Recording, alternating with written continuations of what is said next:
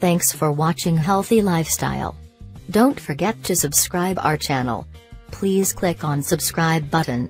5 useful herbal remedies for diabetes. Diabetes is becoming the most common problem around the world. In medical terms it is known as diabetes mellitus. It occurs when pancreas is unable to produce enough insulin in the body and there is an increase in blood sugar level in the body.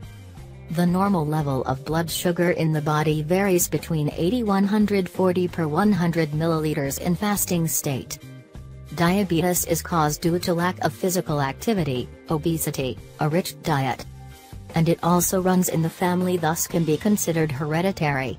Diabetes can affect your organs like eyes, kidneys, nerves, bones and blood vessels if the blood sugar level is not maintained. You can treat diabetes with herbal remedies. These useful herbs are easily available in your kitchen or you can procure them from the market. Herbal remedies for diabetes. Wheatgrass. Wheatgrass juice is extremely beneficial for treating diabetes. Wheatgrass can be grown at home in small pots. Take 2 tablespoon of wheatgrass juice in the morning for at least 2 months to bring down your blood sugar level. Garlic. Take 2 cloves of garlic first thing in morning with half a glass of warm water. It helps to keep blood sugar level under control. Amalaki or amla. Extract the juice of 2 amla and dilute it in half a glass of water. It is a useful remedy for diabetes. To neutralize the bitterness of the juice you may add 1 teaspoon honey to it. Mango leaves. Fresh mango leaves are useful for treating diabetes. Chew 5-6 mango leaves. In morning for 10 minutes and spit the pulp out while swallowing the juice. Neem. Neem has various medicinal properties.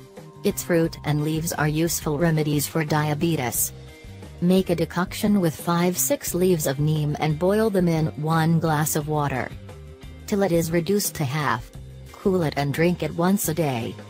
You may add a little amount of honey if you find it too bitter. Make powder with dried neem fruits, nimboli. Take half teaspoon of this powder with water in morning. Note. Herbal remedies are very effective no doubt, but they may cause side effects.